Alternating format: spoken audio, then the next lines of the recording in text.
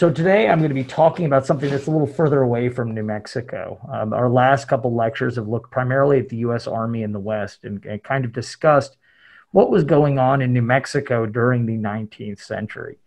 And we, have talked a bit before about uh, colonial period times uh, in New Mexico and the impacts of uh, Spanish soldiers, Spanish missionaries, and Spanish settlers on the indigenous peoples of New Mexico as a whole. And these next couple of lectures are going to take place outside of New Mexico. We're going to actually pull back and we're going to look at uh, the, the ethnogenesis and transformation of cultures as a whole worldwide. And for this talk, we will be specifically looking at the Taino of the Caribbean. Uh, coming up very shortly uh, is Indigenous Peoples Day, uh, formerly known as Columbus Day. And it's the Taino that had first contact with Columbus and, and perhaps suffered the most at the hands of the Spanish as, as a result of those early colonial ventures. Um, so we're going to be looking at um, these people and their legacy and primarily how they reacted to Spanish settlement and how the Spanish reacted uh, to their their encounters with the Taino. And hopefully we'll end with a, a couple lasting legacy bits on how the Taino are still with us, especially in American culture, which I think is, is pretty profound. A lot of the things you do as an American, you might not think of them as Taino, but they are. Okay, so who are the Taino? These were the people of first contact with the Spanish in 1492. At the time of 1492, they occupied the Great Greater Antilles um, the northernmost islands of the Lesser Antilles and, and the Bahamas. So they they most of the Caribbean islands uh, were home to these Taino peoples, and while they're traditionally looked at as a, a single ethnic group, um, there, there there's some there's some debate about that. There certainly they they showed archaeologically we can see a lot of uh, variability across regions with the Taino peoples. So with this goal, we're going to talk about who the Taino are, what they're doing at the time of Spanish contact, how they they they they handle being contacted by the Spanish, how they how they both accommodate and resist uh, colonization by the Spanish, and then their legacy today. The Taino are not so. Even though we tend to think of the Caribbean, we tend to put that in the North American sphere of influence. It's really not. At the, at the time of Spanish colonization, the Caribbean islands, uh, especially the, the Greater Antilles, had been colonized not by North American Native American peoples, but by South American Native American peoples. And there's some debate exactly where they come from in South America. Some put them in the Colombian highlands, some put them in, in the Amazon basin, and it really doesn't matter. It, they're definitely from South America. Exactly where in South America, we don't know. The first look at the Taino and, in Arawak speakers is along the Orinoco River. Uh, they appear there around 500 BC, and you can watch based upon ceramic evidence as they migrate through across the Orinoco up to the Atlantic Ocean and then out into the Caribbean. Um, these proto Taino uh, have colonized the, the Lesser Antilles in Puerto Rico by at least AD 600. They have gotten all the way through Hispaniola by AD 1000. And by 1492, they've spread across Cuba or most of Cuba and the Bahamas. So they've reached, they're in the process of probably moving into Florida when the Spanish arrive in 1492. Had things not changed, they probably would have reached the North American continent and started to colonize there as well. This is the distribution in 1492 as you can see here. So um, they've they've actually lost some of the lesser Antilles at at this point. Only the northernmost of the lesser Antilles are are actually Taino at this point. Um, but they, their their control pretty much they're they're they're perched to jump into Florida. Uh, as the time goes. Um, they replace and, and, probably in many ways interbreed with the peoples that were already there. Um, but as I said, whether they're they're a whole or not, you can see maps like this that say this is the distribution of Taino. You can also see some um, some more detailed maps that often uh, put a circle around Puerto Rico and Hispaniola and, and say that that's classic uh, Taino, whereas Uh, Jamaica and Cuba and the Bahamas were a, a little less advanced uh, necessarily, but um, there could be a lot of things going on prior to 1492. Unfortunately, the Taino did not leave us written records, so we're left uh, with oral traditions to some extent. And in those cases, those oral traditions can be really hard to get at because unfortunately, Spanish colonization will not go well for the Taino. Um, the localized attributes um, of, of, all these different groups that we call Taino is, is maybe some people argue that the idea Taino Taino is not a culture, but rather it's a family of different cultural groups. What you're looking at is a language family, lots of people that speak a similar language, but that if you really pulled them apart at 1492, they would have been actually different cultures. Conversely, um, some people, you know, certainly the Taino themselves, looked at the Carib people as, especially the island Carib, as, as being very different from them. However, when we, we, we put together the Northern Lesser Antilles, which is supposed to be Taino, and the Southern Lesser Antilles, which is supposed to be Carib, if you look at them archaeologically, they're almost indistinguishable from one another. And, and, and, and, several scholars have actually argued that the word Carib is really not a cultural group at all. Rather, it's a word Taino people are probably using, which they distinguish from themselves as we're the good people, we're the people who don't eat other people we're, we're gentle, we're nice. The people who are mean and, and, and live for violence, those are Caribs. They eat people. So there, there, there's a there's a debate whether we really should distinguish between the two groups.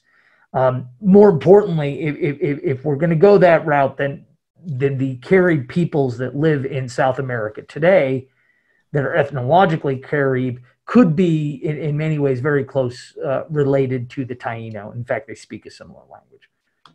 Uh, so, what is Taino culture? Well, um, in broad terms, the Taino are, at the time of 1492 are divided into a, a number of large chiefdoms, each ruled by a cacique. Um, Hispaniola, which is modern day um, Haiti and, and um, uh, Santo Domingo, had five large chiefdoms that kind of divided the island. So five states, as it were, almost. And Puerto Rico had uh, had about 18. Even though Puerto Rico is a smaller island, it was really divided. Um, and, and, and some of that could be the fact that the Taino had been there so long that they had had time to distinguish themselves into multiple states over and over and over again. Um, it, but both of these islands were the most archaeologically complex. Um, while we don't get a huge amount from the Spanish, we do have some great accounts of some of their mythology and, and, and, things like that later in times. From the accounts of the Spanish, we can say with certainty that they were patriarchal but matrilineal. So, uh, very similar to Pueblo peoples in New Mexico in that way. So, inheritance is through the mother's line. Uh, interestingly, amongst the Taino, men and women could take multiple spouses, and there was um, at least some level of gender equality, which was uh, uh, relatively surprising to the Spanish. But it, it, it's not that uncommon amongst uh, Native American peoples as a whole. Uh, their primary cultigen, they were agriculturalists. They primarily uh, farmed uh, cassava, which they called yucca. In fact, if you go to Puerto Rico today and you, you order yucca or yucca, um, what they're really giving you is cassava and it's it's kind of like a it's a root vegetable. It's not that unsimilar to potatoes. Uh, where it's different from potatoes is if you don't treat cassava before you eat it, it has a lot of arsenic in it. And it's actually can be quite deadly. So you have to. It, it's one of those vegetables you don't just plant in the ground, pull it out, and eat it. It actually requires quite a bit of processing. Uh, they also planted corn, which they uh, brought in from they, they, they, that at least we, we think came from primarily Mesoamerica. Cotton, beans, squash, peppers, pineapple, sweet potato, and tobacco. And these were supplemented with wild species such as palm, guava, and, zamia. They also hunted. Uh, the, the Caribbean islands has no large terrestrial mammals. It does have an animal the size of a car, and that's what you see here in this picture. It probably doesn't look like it, but that's about the same size as a uh, bug. You know, the old old little bugs you used to see from I think they were Volkswagen bugs, and I'm not a car person, but um, that leatherback turtle that you see there is about the size of a car.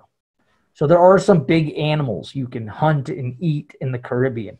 Uh, but most of them are aquatic or semi-aquatic animals. The only time the leatherback turtle actually comes to land is to lay its eggs, um, which, uh, interestingly enough, its eggs were an aphrodisiac amongst the Taino people. So, but they also ate a ton of birds. In fact, one of the things the the Spanish um, explorers, upon reaching the Caribbean, really noticed is how many birds were in the sky. And as we'll look at with some of the rock art, birds feature prominently in Taino um, images, primarily because of their value, probably as both a food, food source and as a ceremonial animal. And then, of course, shellfish and fish um, were, were vitally important to, to them. The villages themselves, obviously, this is a reconstruction. This is not like an archaeological site that survived until present day. But if you look, their houses are, are, are large, uh, primarily circular, sometimes rectangular structures. Those would all house a specific um, woman's uh, lineage. Um, so a, a, a family line is tied through women. Multiple families, all connected through those lines, would, would live in one house with each person not having necessarily a bed, but living in a hammock, you know, having a hammock that was hung, that was your, your personal sleeping space. And as you can see here, we're going to see lots of pictures of ball courts because that's the thing that really fascinates me. You'll notice that these, these circular structures are kind of surrounded. And if you notice, there's some people playing in the, the um, kind of the left-hand side of the image. Uh, that flat open space, the, the rectangular space you see there is a small ball court. So they have a small plaza the ball courts in the center. And then, of course, surrounding that would have been their villages and the ocean itself. Um, here, here's a picture of a much larger ball court. This is one at Caguana in Puerto Rico. Um, a lot of the pictures I'm going to use of Puerto Rico are my own pictures because I've gone to, I've tried to go to every Taino site or reconstructed village I could possibly go to. Um, the ball courts in the Taino region are known as batey. Um, and and they're they're very likely an influence from Mesoamerica. So if you want to think, the Southwest has the most northernmost ball courts, right? You know, it's a, the, the northernmost is in um, just north of Flagstaff, Arizona, right? Or there's some debate about some others in the American Southwest, but the American Southwest as a whole has the northernmost ball courts. Uh, well, the eastern and southernmost ball courts are all in, in, in the Taino regions. They, they took these attributes from Mesoamerica. In, in the Taino version, uh, teams of about 20 played with a rubber ball. And interestingly enough, it appears to have been used uh, in, in addition to entertaining people and perhaps having a ceremonial purpose. It was used to settle disputes amongst the various chiefdoms. And, and perhaps it's not surprising that the largest ball court uh, site that we know of in, in, in the Taino lands in the Caribbean is in Puerto Rico, where they have so many chiefdoms. They have about 18 chiefdoms.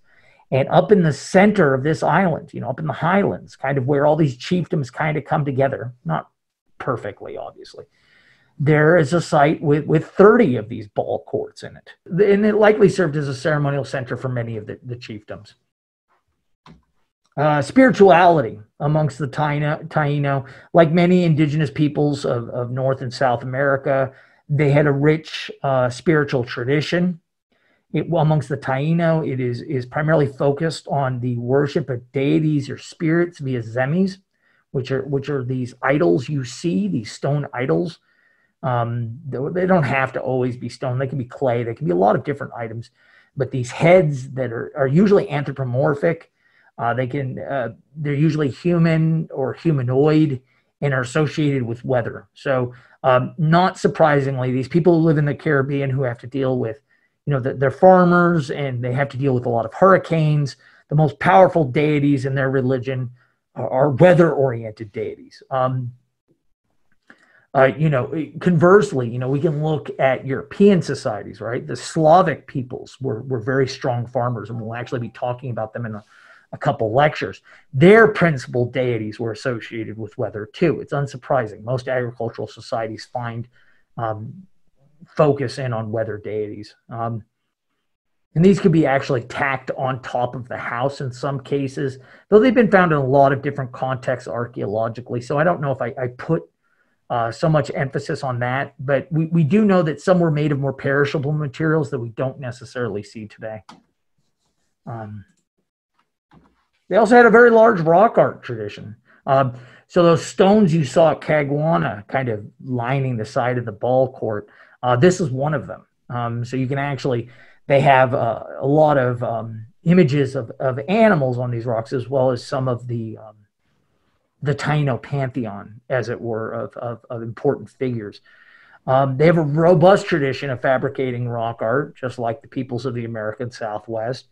And these were probably made for a variety of purposes. In this case, it's decorating the side of a ball court, probably in, in, in some sort of uh, ritualistic purpose. But we also see these, these things um, on the borders of, of multiple chiefdoms. Uh, one of the stranger things we see in Taino rock art, which I'm not as aware of happening in most other societies. Now, mind you, I work in the American Southwest for the most part, not in in, in areas that are very close to the ocean.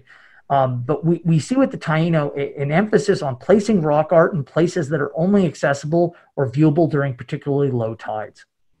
So a lot of times they'll, they'll do rock art in, in, in these areas that you will only get to see if the tides are are way down. These are not things that you would know are there uh, which makes them strange as boundary markers. Unless you came at a certain time of day, and that time's going to change, right, based on the lunar cycle. That, that would be the only time you'd ever see that rock art. Um, so that that kind of um, argues against some of these being boundary markers uh, necessarily. But they're they're also put. I, I, love it because in many cases these things are put. Um, uh, near uh, the ones that are only visible, you know, under particularly low tides, I, I had the, um, and I'm not saying this is true, but I, have always had this idea that, you know, you know, they have all those signs for the, the big um, tidal waves. And I, I, have never been through a, a, tidal wave myself or a, tsunami. Um, however, I know that the tides go way out right before the, the wave comes in, right? Like the, the, the ocean's supposed to like go peel way back. They engaged in war and engaged in peace, of course. Um, their principal enemies were the Carib, which if you read that as a different people, then their enemies were the people of the they they they fought with people of the Lesser Antilles. If you take the broader view, the Carib were just any warlike Taino. The, the Taino's principal enemies were other Taino. And the, the, according to the Taino, the bad ones are the ones that ate each other. The good ones are the ones who didn't eat each other. Um, but warfare prior to the Spanish arrival was typically very small scale, with raid raiding parties on canoes, uh, armed with bows and macana, in this case, these are not the macahuitls of Mesoamerica. They're they're um, kind of a paddle-shaped club, as it were. So you could row the canoe with it, and you could hit somebody with it. Kind of has the shape of a sword, but it's not a it's not a weapon that's necessarily going to inflict. I mean, it can inflict horrible damage. Don't get me wrong, but it, it's not on the same scale of inflicting horrible wounds that you might see amongst uh, Mesoamerican peoples. Um, also, when we look at their their archival record, at their belief system, it, it's remarkable at how peaceful their spirituality is. Um, one of the things we see a lot in, in many um, polytheistic religions, often, and I don't mean this just Native American religions. I mean polytheistic, as in uh, Nordic gods, Greek gods. take any polytheistic society, society where you have multiple gods, multiple spirits all vying for control. We tend to see in those narratives a lot of violence amongst the gods. We really don't see that as much. You know, when you read the the tales of the Taino people, as, as written by a later priest, obviously, um, they're they're remarkably peaceful. The the resolutions are relatively peaceful. Moreover, we we we see for for and this is a densely populated area. We see um, the ball courts are often used to settle disputes, suggesting that not only is there not a lot of ritual violence in their mythology, but there may not have been a whole lot of uh, actual physical violence in their onto. No, they're human beings. Everybody's a human being. Human beings hurt each other.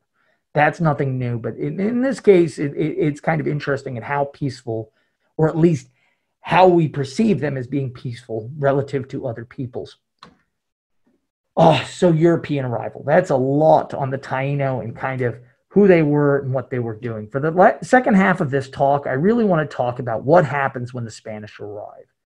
When did the Spanish arrive? Well, they arrived on the day we used to call Columbus Day, right? October 12, 1492. Um, when Columbus uh, encounters the, the Americas, uh, based upon his charts, which were uh, from the Middle Ages. They were not uh, modernized charts of the modern world. They were they were charts based upon Marco Polo's journeys. He thought he had encountered a the outer islands of Cipangu. Um, Marco Polo's Cipangu and what what um, Columbus believed he had discovered was Japan. Um, however, what Columbus had really discovered was the, the Caribbean, and, and, ultimately the, the islands that he thought were Japan were the Greater Antilles. Um, first contact is actually made in the Bahamas. The, the first landfall by European peoples was in the Bahamas at a, a, an island known as Guahani. I'm probably Guanahani. I'm probably not saying that right, and I apologize. Um, the you know Europeans uh, pulled off off the coast, and a group of young Taino men stood out on the shore to greet them. Uh, during this exchange, um, the Tainos offered cotton and shell in exchange for broken pottery and glass beads. And yes, that's right, broken pottery. The Spanish also inquired as the Taino had um, some gold rings, mostly nose rings and things of that nature, little decorative pieces on them. And of course, the Spanish, the first thing they ask is not, um, but where did you get that? I want that. And they said, well, you know, the, these things are more plentiful to the south. Um, and so the Spanish drop everything and start to head south, right? They, they don't stay for very long in the Bahamas. Interestingly enough, we actually know what Columbus was thinking at the time based upon his journals. Um, and his thoughts upon this first day of meeting the Taino people. Remember, the first day, this isn't, I've met these people. What do I think of them? And this is what he writes. And I, I think this is very telling of future relationships between Europeans and indigenous peoples. They're fairly tall on the whole, with fine limbs and good proportions. I saw some who had wound scars on their bodies, and I asked them by signs how they got these. And they indicated to me that the people came from other islands near who tried to capture them, and they defended themselves. I supposed, and still suppose, that they came from the mainland to capture them for slaves. They should be good servants and very intelligent, for I have observed that they would soon repeat anything that is said to them. And I believe that they would be easily made Christians for they appear to me to have no religion. God willing, when I make my departure, I will bring half a dozen of them back to their majesties so they can learn to speak. What he is saying upon his first encounter with these people is that they would make good slaves, and he's already decided he's going to take a couple of them back as slaves, uh, which he does. And by the time he ends his journey, his first trip to the, the New World, he actually takes back seven Taino. Uh, five die, and the remainder serve as interpreters on a second voyage but he continues south for now.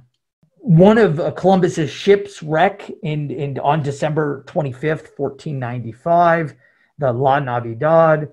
Um, out of the wreckage, the, the, the Columbus and his party uh, formed the, the small settlement of Santa Maria on the coast of Hispaniola. We don't exactly know what happens to the settlement. Uh, but when he returns, when Columbus returns on his second voyage, remember he takes some slaves and he boogies off back to Europe. In fact, he, he doesn't even go to Spain right away. He actually goes to Portugal uh, to, to brag that he was right all along and they should have funded his expeditions. And the Portuguese kind of blow him off and he ends up going back to Spain.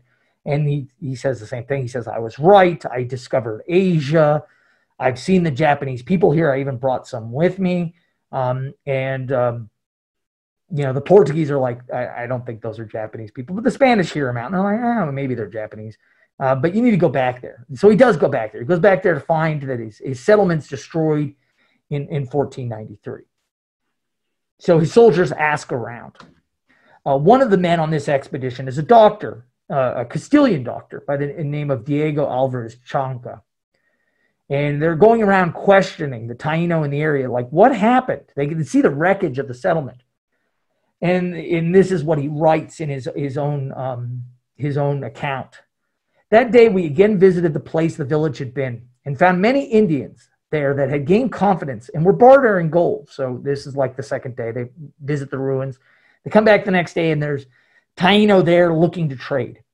Um, they bartered almost a mark's worth. We learned that they had pointed out where 11 Christians lay covered in the grass that had grown over them. So they find the, the bodies of their comrades. They all told us through an interpreter that one of those slaves that Columbus had taken back, uh, that Canobo and Mareni, rival Taino caciques, had killed them. So their rivals had killed them. But then they started to complain. They complained that, you know, each of these dudes that was living in this village was taking three or four women uh, for themselves. And so Diego says, you know, he says, from which we concluded that they may have been murdered out of jealousy.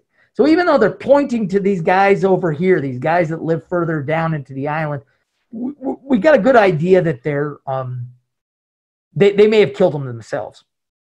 Columbus arrives the next day and, and, and meets with the local cacique. He wants to know what happened. He also wants to collect tribute, right? So he, he gets off his boat and he, he, he makes a big huff and goes into the Taino village where he meets a cacique by the name of uh, Guacarm. I'm, I'm sorry, Guacarm Kamari. I'm probably butchering that one as well. Who tells him a, a similar story. Moreover, he points to an injury on his leg, uh, which Chanca thinks is completely fake. He's like, "That's there's no way that's happened." But he claimed to receive it while while fighting to protect the Spanish.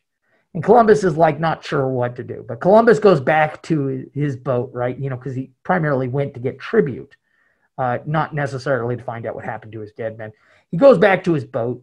And um, several na- nights later, because of course, these Spaniards are also collecting Taino women, right? You know, because they're lonely. And and in the middle of the night, these women, along with uh, Guacamari and his group, all flee into the night.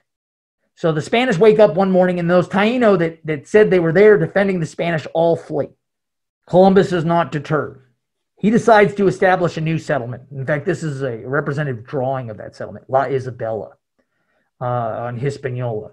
He, he founds this settlement in December of 1493.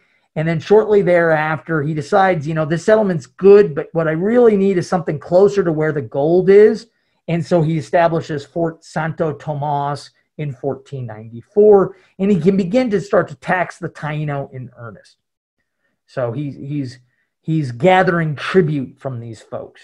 Um, and when I mean tribute, we're going to talk about what that actually is in a little bit, but mostly gold and cotton.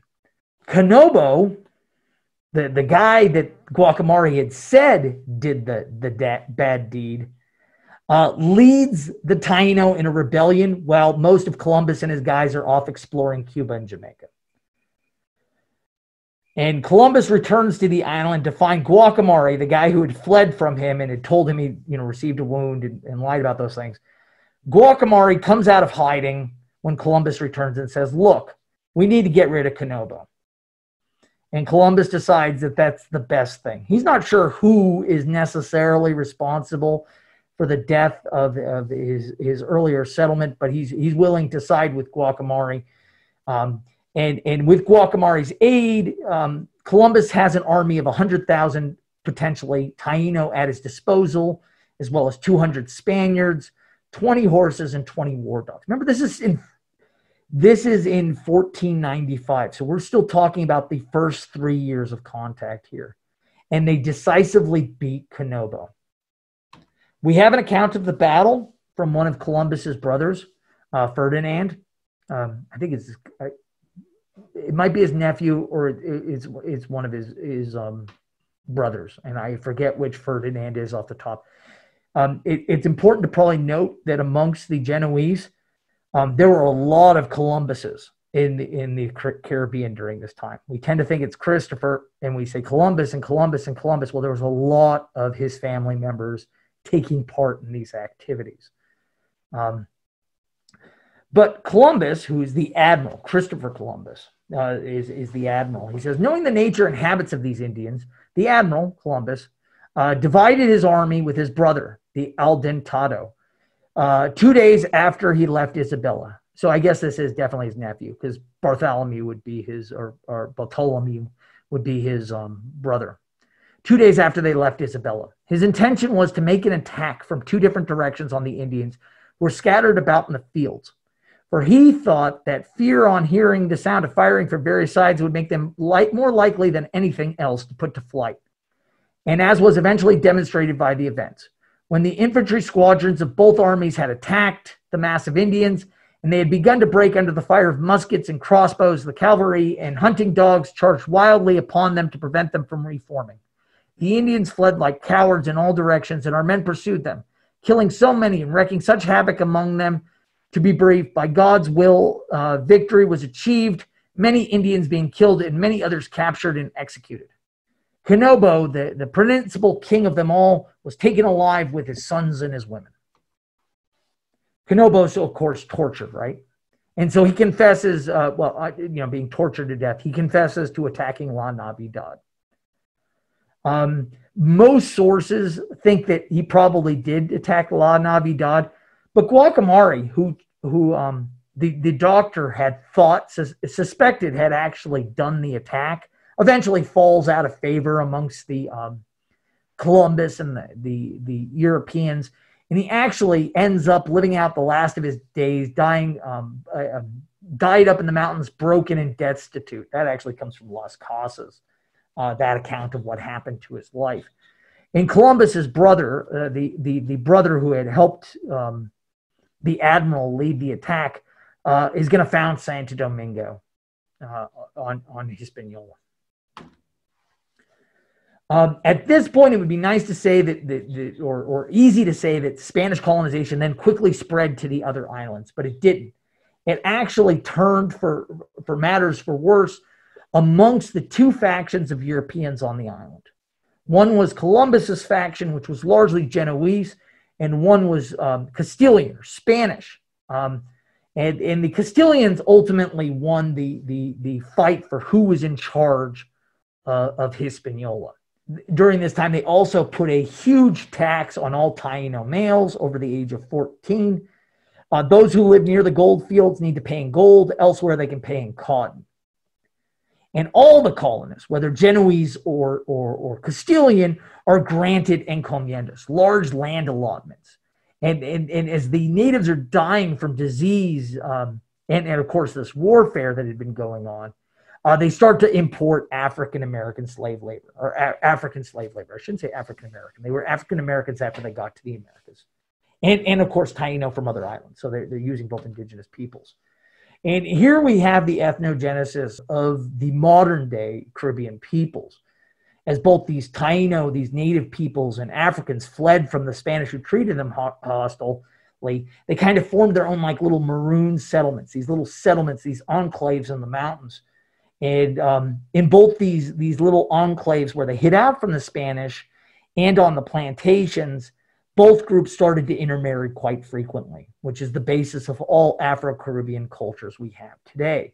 On Hispaniola, on the island of Columbus, this union gave birth to voodoo, uh, which is what we can see these young men practicing here after the infighting amongst the, the Castilians and Genoese uh, over who controlled the Caribbean, expansion, once that was decided and, and debated, expansion happened very rapidly. Uh, Puerto Rico w- was colonized by Ponce de Leon in 1508. Uh, Jamaica was taken in 1509. And then Cuba by Diego Velazquez in, in 1511. Now, obviously, I can't talk at length about all of these different uh, colonization movements, but I, I, did want to offer a quote here from Las Casas about how these conquests were gone.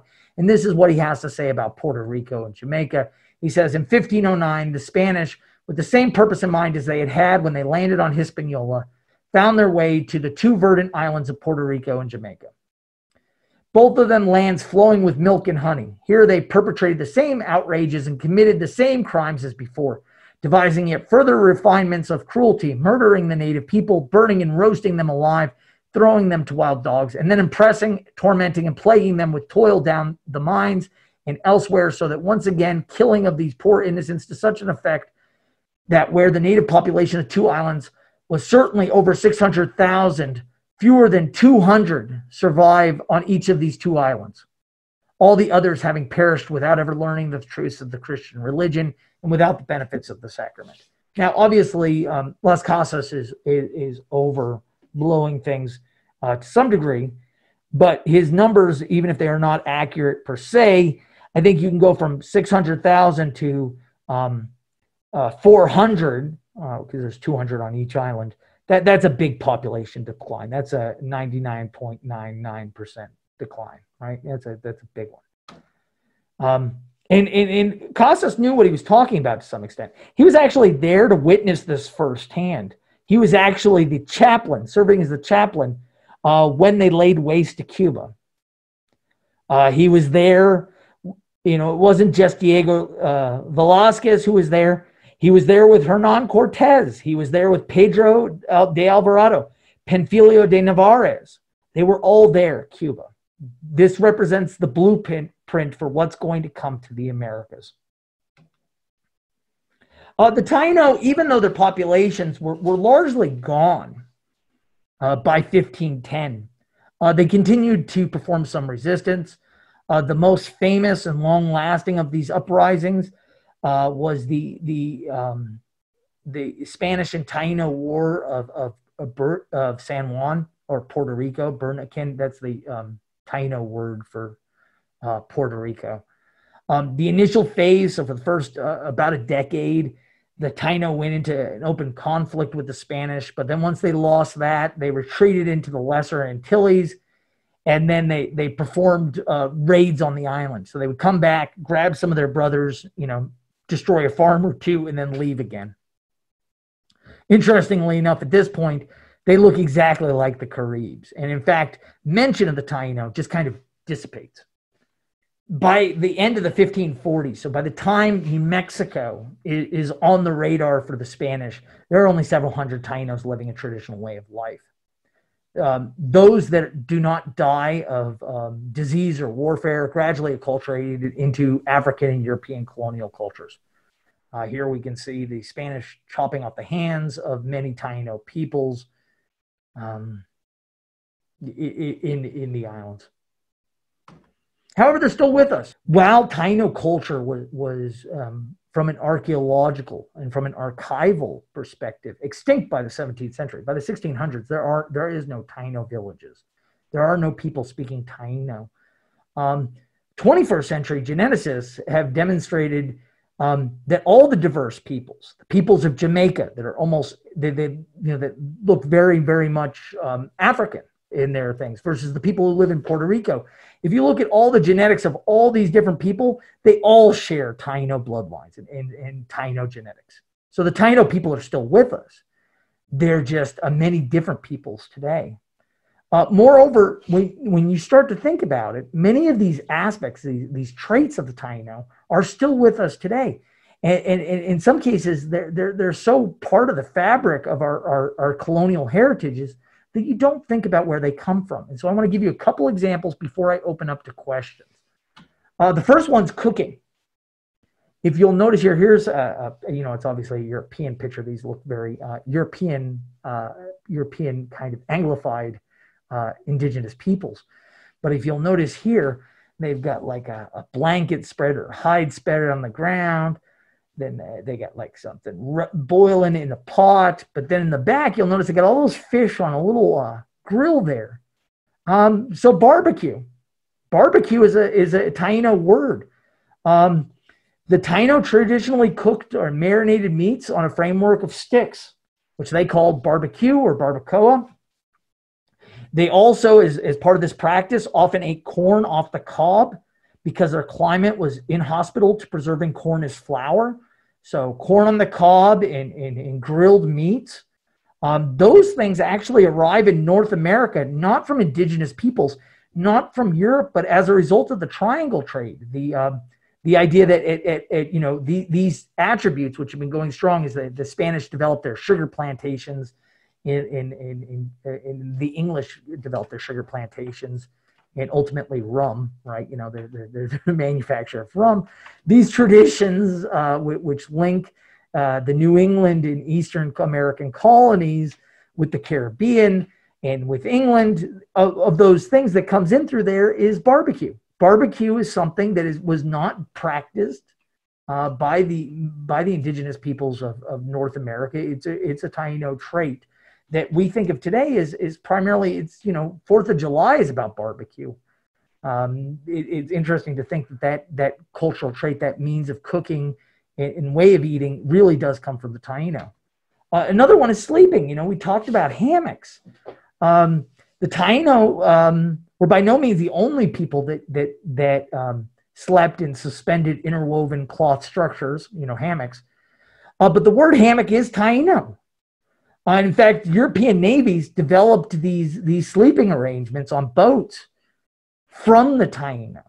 So, the, like like barbecue, these practices of sleeping like this were adopted from from indigenous peoples, from the Taino specifically, and brought into the navies.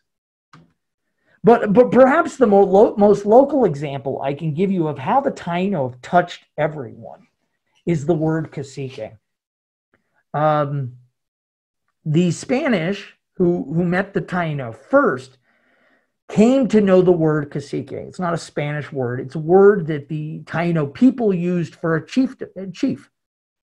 Um, and the Spanish adopted this term so that whenever they dealt with new Native American groups, right, the, the first thing they asked is, we want to talk to your cacique. Well, most of these groups didn't have a cacique. They didn't know what one was. But this term and this idea of a, a headman was actually pushed onto other people. So here we have uh, the cacique from Isleta del Sur down in El Paso here in this image. But today, if we were to look at the indigenous tribes of New Mexico, right, they all have caciques. That role may or may not have existed. It certainly wasn't called a cacique prior to the arrival of the Spanish and the role, the, the expectations the Spanish had for that role were largely defined by how the Taino organized themselves. So, what can we have as some conclusions to talk about the Taino and and and and, and put it end uh, end to the discussion on this this Columbus Day kind of discussion of um, European contact in the Caribbean? Uh, well, the Taino migrated from the Orinoco River Basin uh, from there, they developed their distinct culture in, in the Caribbean. Um, it was focused primarily on the acquisition of maritime resources and the cultivation of cassava. They were strong and the most popular peoples in you know uh, most populous peoples in the Caribbean in 1492, and they were the first people encountered by Europeans. Um, those encounters led to a sharp decline in Taino populations. Um, they resisted like all indigenous peoples, when we start to look deeper into the narrative, they resist it. Um, however, uh, while their, their, their culture was viewed by historians and by archaeologists as largely extinct uh, by the 17th century, we can see both in their genetic makeup, the, the peoples who live in the Caribbean today are all indigenous, all share the heritage of these indigenous peoples. Uh, moreover, their cultural traits surround us to the point where we don't even notice that they are Taino cultural traits that we've adopted. So, with that, I will open it up. Here's me standing in front of some of the, the spiritual figures at Caguana, or I'm sitting down on the ground actually, and I will be happy to answer all of your questions or the best I can. One of the words that we use regularly that's a Taino word is canibales, cannibals. And you were just I, I talking about that, that one, earlier. but that doesn't surprise me. yeah, I read that somewhere not too long ago. I, um, in looking at the rock art, it looks as if it's almost painted on those rocks rather than the the. Um, it's it's pecked. I art. assure you. It's paint. It, it's pecked. Pecked. Chipped. Pecked. Yeah. Okay, and then um, the color is in, in most of those images I showed you, it's the underlying rock. So what you're looking at is the aged surface versus the pecked surface. But I think at Caguana, they've cleaned a lot of those things up. I can't speak for the state park in Puerto Rico that handles mm-hmm. those things today. Uh, what levels of cleaning up they've done to make those more noticeable. Um, a, a, lot of times, though, they're not nearly that distinct. Um, but but they can be. Um, they have a lot of because um, the area is is um, uh, the, the rock art's all over the place. And, and and their their rock is it's a hard rock. They have basalts and, and volcanic rocks which really preserve uh, the petroglyphs really well just like you you see outside of albuquerque today. Um, uh, but there are some questions in the chat. First of all bb says where can i get some of those leatherback turtle eggs? I have a horror story for you guys on on, on leatherback turtle eggs. Um, So I took my kids. So I normally go out to the west side of the islands, and I never even seen. I mean, I knew I'd seen pictures of leatherback turtles, right? And I'd seen the things don't disturb their nests. Um, one day I was walking down. Uh, I was I was in Luquillo, I think, and I was on the eastern side of the island near the the, the wildlife sanctuary, and um, I'm walking on the wildlife sanctuary, and I'm I'm walking and I just remember there was a whole bunch of seagulls down by the water. I walked right by it, and the seagulls were going crazy, but we didn't get too close to them because I figured stupid birds want to be crazy. Let them be crazy over there. You know, the kids don't. The kids were still young at this point. I'm like, yeah, I don't need to be near them. But as I'm walking back, there's a whole bunch of people clustered around the area those seagulls were taking an interest in, and they wave us over and they say, "Hey, do you want to see baby leatherback turtles?" And and because they were digging out the nest um, what had happened uh, that they told us, and we got to hold some of the sea turtles, which was very sweet. They're all when they're, when they, they get to this be the size of cars, but they're really little. They're only like the size, you know, like that when you hold them at first, and they're very beautiful. Um, so what the, the seagulls have been doing is eating all the babies as they tried to go down into the water. That's what they've been eating. That's what was driving them crazy. And you get to see all the broken shells. But no, you cannot disturb the nest today. That's not why I asked about the eggs. Oh no, I, I can imagine. All right, all right. Um, uh, Never mind. Okay, so there were some questions about cassava. Um, um, yes, there are a lot of I uh, know several people are adding more Taino words that we have, such as hurricane, iguana, maize, papaya. Those are all Taino words. Um, Yes, cassava is actually indigenous to South America. It actually moves to Africa later on in, in the uh, Columbian exchange. Uh, to make cassava edible, I'm not an expert on it, but my understanding is you kind of you grate it up and then you soak it and then you press it and then you soak it and then you press it and, and somehow the water drains out a lot of the arsenic and eventually it becomes something you can eat without making yourself sick. But it's pretty complicated. And in fact, Arawak people, so I, I, said at the very beginning that the Taino people speak an Arawak language. Arawak peoples today, I was actually blown away. I was, I, I you know, as many of you know, I love hunting. Um, I was watching a, a, meat eater episode where he was down fishing in, in one of the uh, rivers of, of, of, South America, and the tribe he was working with were Arawak. And uh, even though they're not Taino, right, they, they don't live in the islands at all, they were still doing the cassava and they were still grilling all the fish on barbecues through the traditional fashion and you could actually watch it i was watching a hunting special right about an anglo guy that goes over there and wants to catch fish but then decides to learn how the natives handle it and what i realized is that halfway through even though this wasn't booked you know it wasn't promoted as an anthropological thing I started thinking to myself, like later on, I'm actually getting more anthropologically out of watching these folks than I am out of the hunting aspect of catching the fish. Um, but it's it's rather fascinating. Cassava is, is or yucca, as it's known in the Caribbean, is is a pretty harsh. It's a very good starch. I, I think it has quite a few calories. It's actually really good for you. You can eat a lot of it, and it'll. It's it's like a potato, right? Potatoes are not good for you. Let's not let's not do anything, but they have lots of calories, and you they can be grown just about everywhere.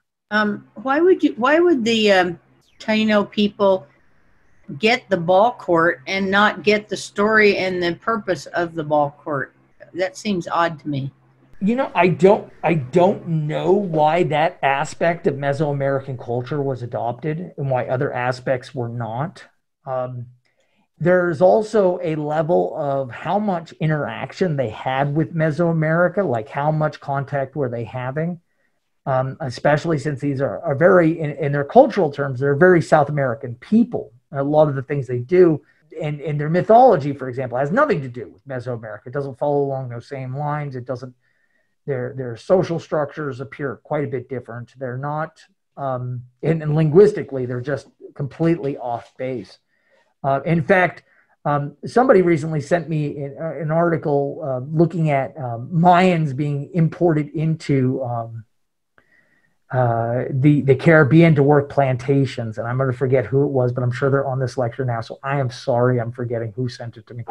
But uh, the the the beauty of it is, so Native Americans in, in North America have I, I, think two blood types, and I might be mistaken slightly, but there's there's genetics in North American peoples that aren't in South American indigenous peoples.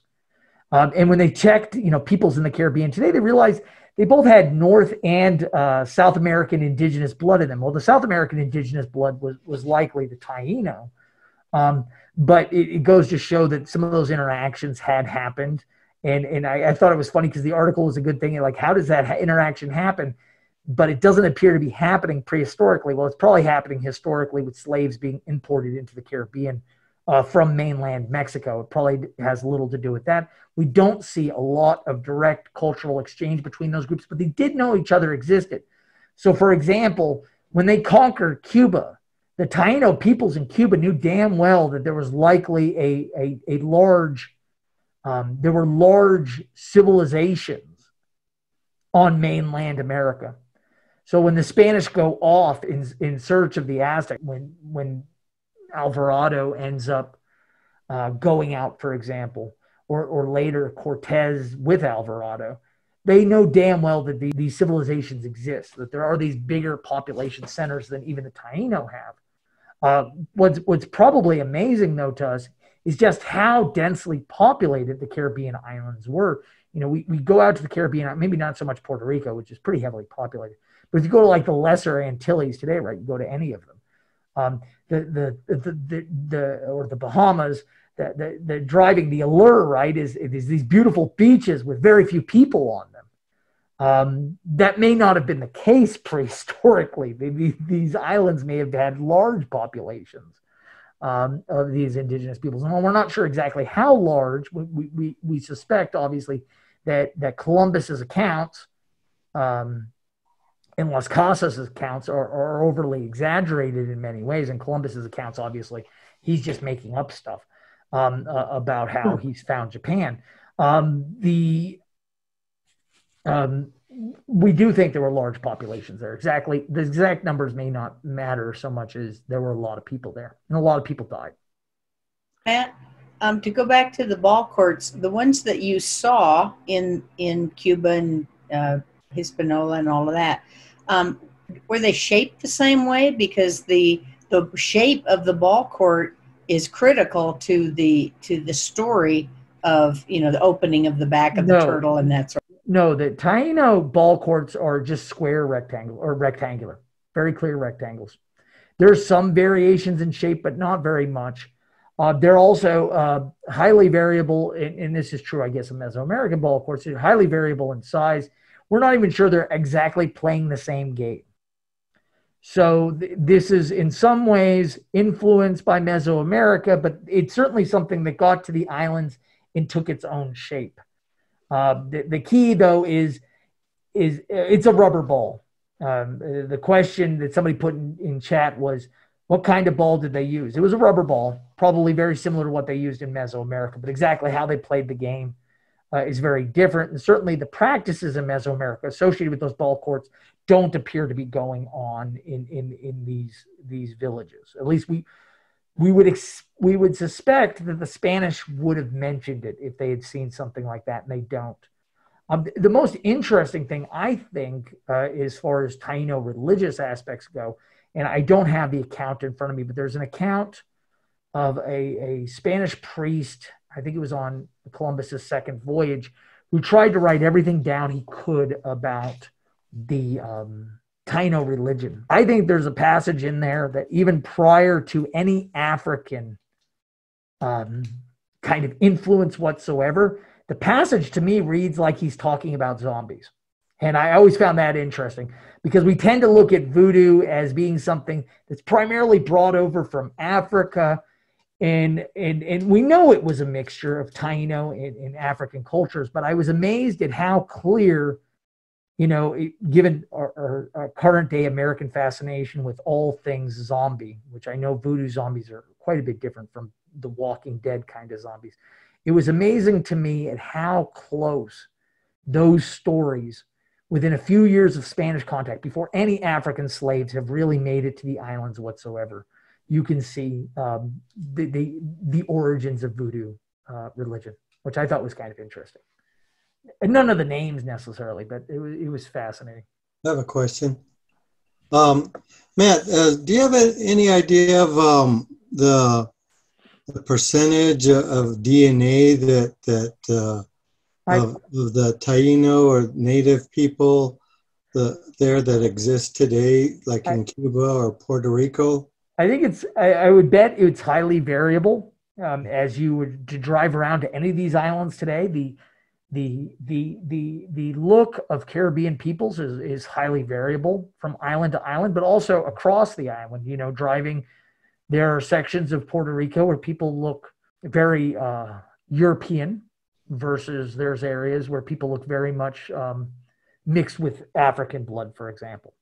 Um, the, I would assume that the genetic legacy is different amongst every person, but I think every person there, I mean, the, the reality is whether they have any European or African blood in them, um, you know, it, it's up to indigenous tribes as to how much they recognize as being um, a thing. And I know there is a, um, a, a, an argument right now that everybody in Puerto Rico should identify as Native American as opposed to uh, based upon those studies. I'm not a geneticist, nor do I have a a political want to to prove to you about whether they are indigenous or not.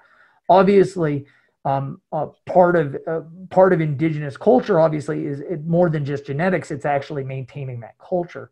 Uh, the interesting thing is we all maintain Taino culture when we grill up for the Fourth of July, or we go to Rudy's barbecue in Albuquerque. We are technically um, whether it's Texas barbecue or not, which is, um, and in fact, when I was doing a Google uh, thing on um, this lecture, I found that there is a Taino smokehouse in like Columbus, Ohio, that supposedly serves authentic Taino foods or th- barbecue, right? So I clicked on it. I was like, oh my God, I got to see what they're serving.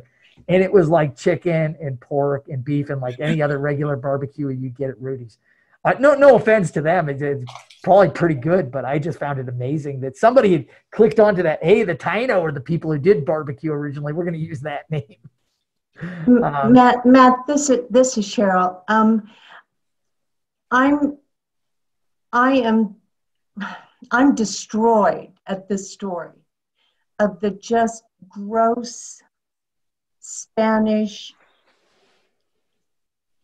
you know, disregard for life, and the and and the brutality. I thought it was bad here. I assume that there are no statues to Columbus in the Lesser Antilles. If you were in Spain, do they, how did they handle this period of Spanish brutality and decimation in teaching the story to their children?